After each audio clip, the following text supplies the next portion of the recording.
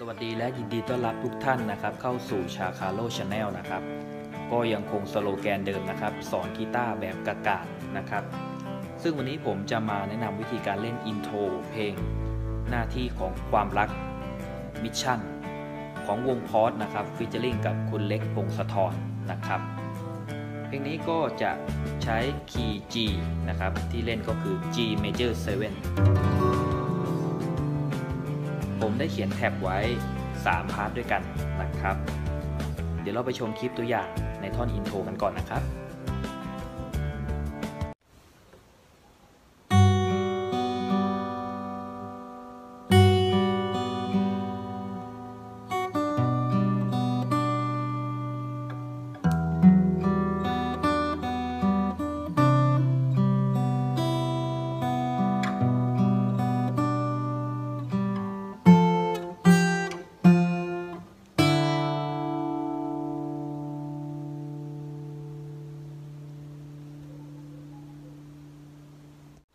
เรามาฝึกพร้อมๆ กันทีละ part นะครับ เริ่มที่ part ที่1นะครับ เดี๋ยวผมจะเล่นให้ดูก่อนครับ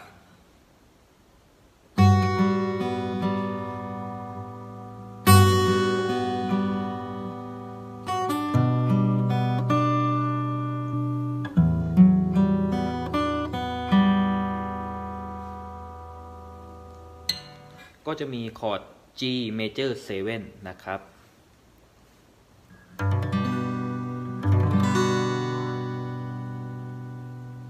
คอร์ด B minor นะครับ และคอร์ด E minor นะครับใน part ที่ 1 เรามาดูคอร์ดแรกนะครับ คอร์ดแรกก็คือคอร์ด G major 7 นะครับ นิ้วนางอยู่ที่สายที่ 6 ช่องที่ 3 ครับ นิ้วกลางสายที่ 5 ช่องที่ 2 นิ้วชี้สายที่ 1 ช่องที่ 2 นะครับวิธีการเล่นนะครับ กดคอร์ด G major 7 ไว้นะครับ มือขวานะครับดึงคู่นะครับสายที่ 6 และสายที่1 1ครั้ง ต่อเนื่องเลยก็คือการเกานะครับ เกาสายที่ 3 2 3นะครับสายเปิดทั้งหมด ภาพรวมก็คือ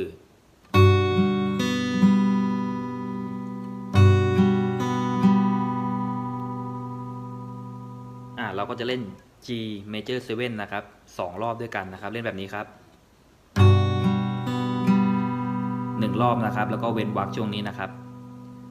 แล้วก็เล่นอีกรอบครับ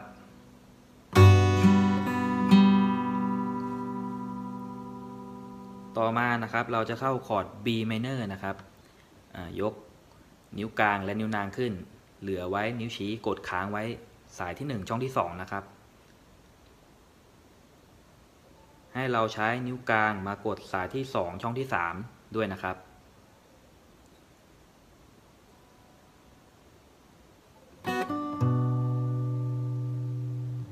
อ่า เล่นแบบนี้นะครับ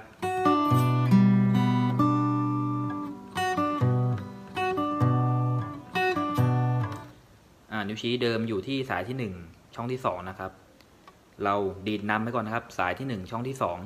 2 และ ขึ้นมาสายที่ 2 ช่องที่ 3 ครับ จากนั้นเลื่อนนิ้วชี้ขึ้นไป กดเบสของ B minor นะครับ ก็คือ สายที่ 5 ช่องที่ 2 ครับ มันก็จะเป็น 3 พยางแบบติดกันนะครับ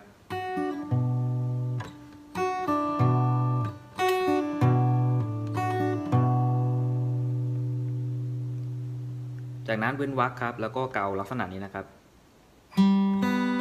ก็คือยกนิ้วกลางขึ้น แล้วก็เกา สายที่ 3 สายเปิดครับ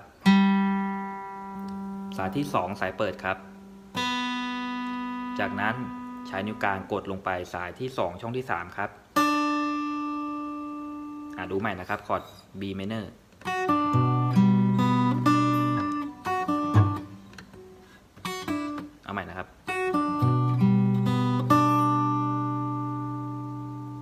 เว้นวรรคครับ แล้วก็เราจะเข้าคอร์ด E minor นะครับ จะเล่นแบบนี้ครับ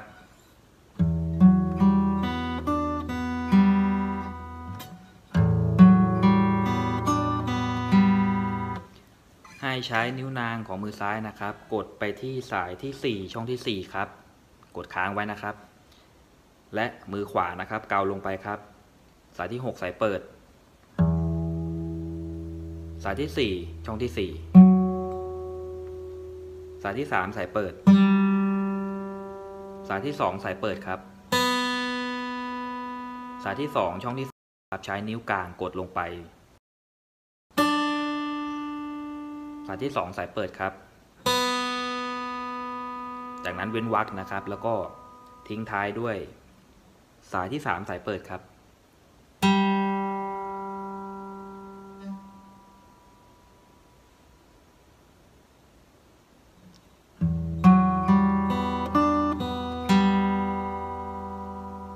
ใหม่แบบช้าๆนะครับ พาร์ทที่ 1 คอร์ดแรก G major 7 เล่น 2 ครั้งด้วยกัน 1 ครั้ง 2 ครั้งนะครับ ต่อมา B minor ครับ สุดท้ายด้วย E minor ครับ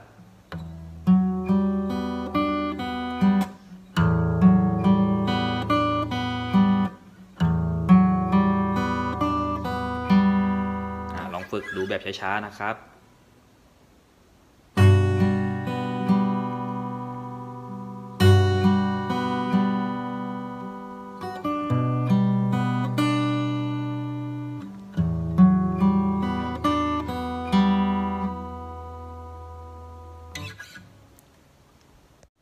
ต่อมาพาร์ทที่ 2 เล่นแบบนี้นะครับ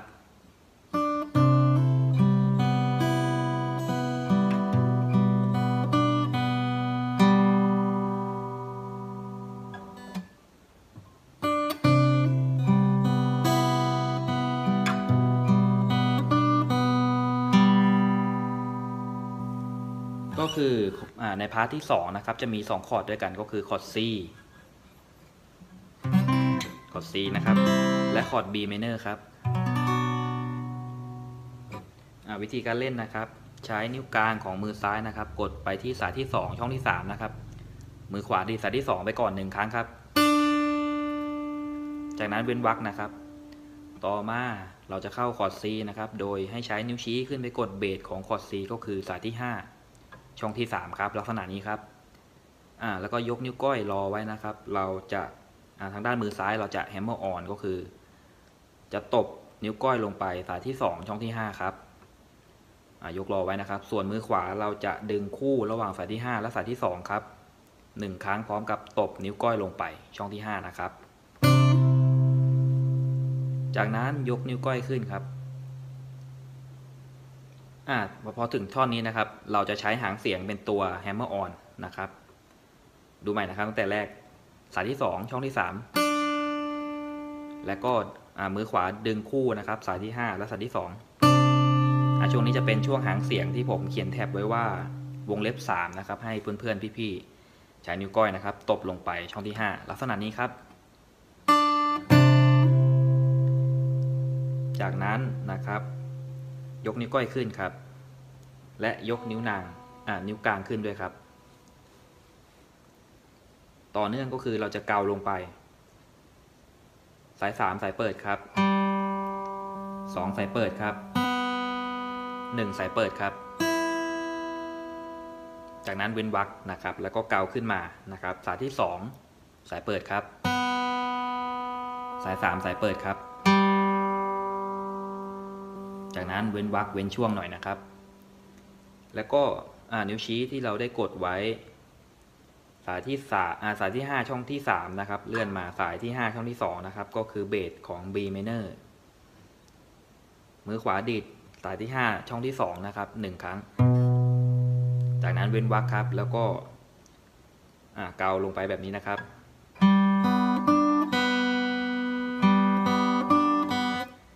สายที่ 3 สายเปิดครับ สายที่ 2 สายเปิดครับ สายที่ 2 ช่องหน่างกดลงไปนะครับ สายที่ 2 สายเปิดครับ จากนั้นเว้นวรรคนะครับแล้วก็ขึ้นมาสายที่ 3 สายเปิดครับ เพื่อที่จะส่งไปเข้า part ที่ 3 นะครับ ดูใหม่นะครับใน part ที่ 2 คอร์ด C และคอร์ด B minor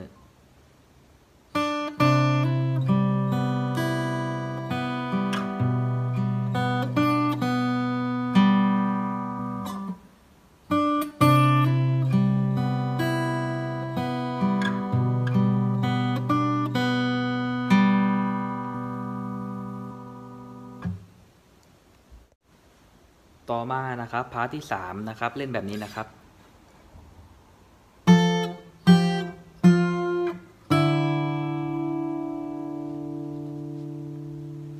part ที่ 3 ก็จะมีคอร์ด F และคอร์ด D นะครับ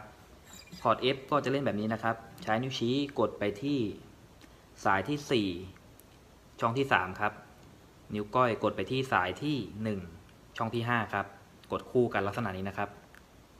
ทำนิ้วอ่านิ้วชี้ให้โก่งๆไว้นะครับ ส่วนมือขวานะครับ จะดึงคู่ระหว่างสายที่ 4 และสายที่ 1 ครับ 1 ครั้ง ทำให้เป็นเสียงสั้น ๆ ด้วยนะครับ โดยวิธีการยกนิ้วของมือซ้ายขึ้น ให้อยู่บนผิวของสายนะครับ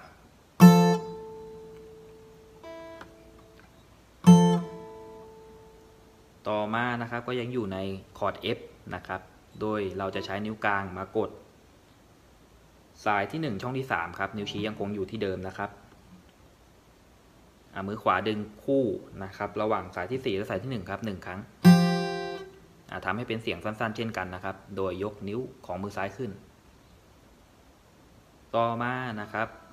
เรายังอยู่ในคอร์ด F นะครับ นิ้วชี้กดโน้ตตัว F ไว้นะครับ สายที่ 4 ช่องที่ 3 ครับ แล้วก็นิ้วก้อยมากดสายที่ 2 ช่องที่ 6 ครับ มือขวาเราจะดึงคู่เหมือนกันนะครับ ระหว่างสายที่ 4 และสายที่ 2 ครับ 1 ครั้ง อะตรงนี้ไม่ต้องทำเสียงสั้น ๆนะครับ กดค้างไว้เลยนะครับ มือขวาก็ดีดไป แล้วก็เว้นวรรคนะครับ สุดท้ายแล้วเราก็จะเข้าคอร์ดดีนะครับ โดยให้ใช้นิ้วนางมากดสายที่ 2 ช่องที่ 5 นะครับ แบบนี้นะครับ และมือขวานะครับให้เราดีด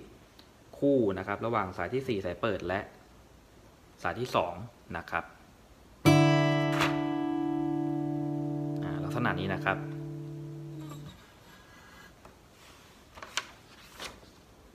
ดูใหม่นะครับในพาร์ทที่ 3 นะครับ